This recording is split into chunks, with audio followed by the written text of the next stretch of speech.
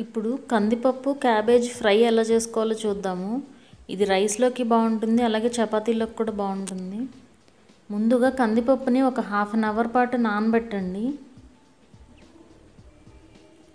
Half an hour తర్వాత ఇట్లా వచ్చింది. సో దీన్ని తీసుకెళ్ళి స్టవ్ మీద పెట్టండి. ఆ నానిన వాటర్ తీసేసి మళ్ళీ వాటర్ యాడ్ చేసుకుని ఇట్లా కుక్ చేసుకోండి సపరేట్గా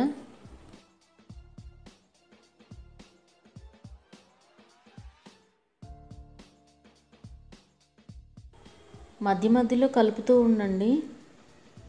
ఇది ఎప్పటి వరకు ఉడికించాలంటే అది మీరు ఆ కందిపప్పు అనేది పట్టుకుని బ్రేక్ చేస్తే ఈజీగా బ్రేక్ అవ్వాలి. అప్పటి వరకు ఉడికించుకోండి. మరీ ఎక్కువ మెత్తగా వద్దు జస్ట్ బ్రేక్ అయితే చాలు అది. సో ఇలా ఉడికించేసుకుని ఆ వాటర్ తీసేసి పక్కన పెట్టుకోండి.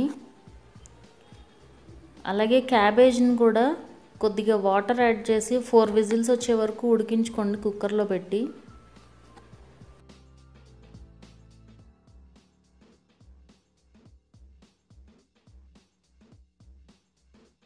తర్వాత కుక్కర్ ఓపెన్ చేసి ఇలా ఒక క్లాత్లోకి క్యాబేజ్ తీసుకుని ఆ వాటర్ అంతా ప్రెస్ చేసేయండి బాగా పిండేసేయండి అంతా.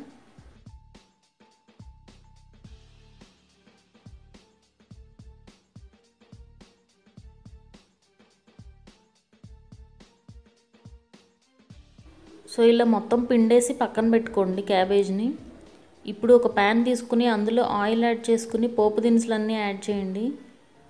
ఎండుమిరపకాయలు శనగపప్పు మినపప్పు ఆవాలు జీలకర్ర అన్నీ వేసి వేగనివ్వండి.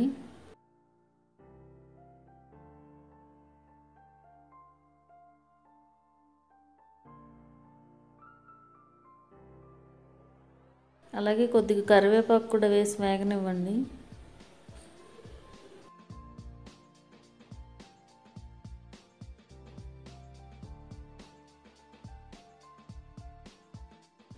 ఇవన్నీ బాగా వేగిపోయాక మనం ముందుగా రెడీ చేసి పెట్టుకున్న పప్పు ఉంది కదా ఉడకబెట్టింది అది యాడ్ చేసుకోండి ఇందులోకి.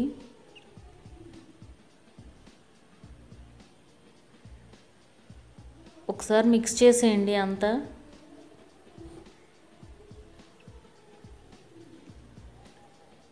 ఈ కర్రీ చాలా బాగుంటుందండి ఎప్పుడన్నా ట్రై చేయండి ఒకసారి. మామూలు క్యాబేజ్ కంటే ఈ కందిపప్పు యాడ్ చేసింది చాలా బాగుంటుంది.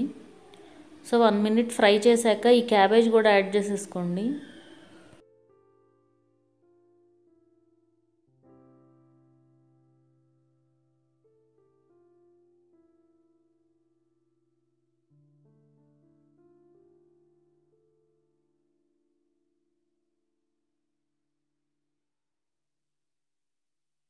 ఒక టూ టూ త్రీ మినిట్స్ పాటు ఫ్రై చేశాక కొద్దిగా ఉప్పు యాడ్ చేసుకోండి.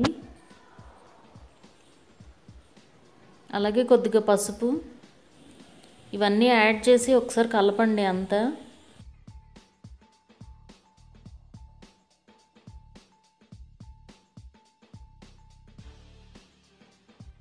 క్యాబేజ్ బాగా ఫ్రై అయ్యే వరకు ఫ్రై చేసుకోండి ఇలా.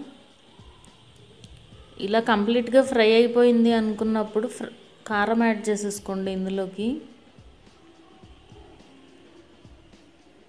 యాడ్ చేసి ఒకసారి మిక్స్ చేసేయండి అంతా.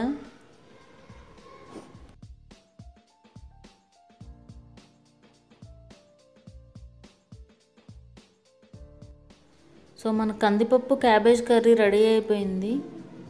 మా వీడియో కనుక మీకు నచ్చినట్లయితే సబ్స్క్రైబ్ చేసుకోండి. అలాగే పక్కనున్న బెల్ ఐకాన్ కూడా క్లిక్ చేయండి.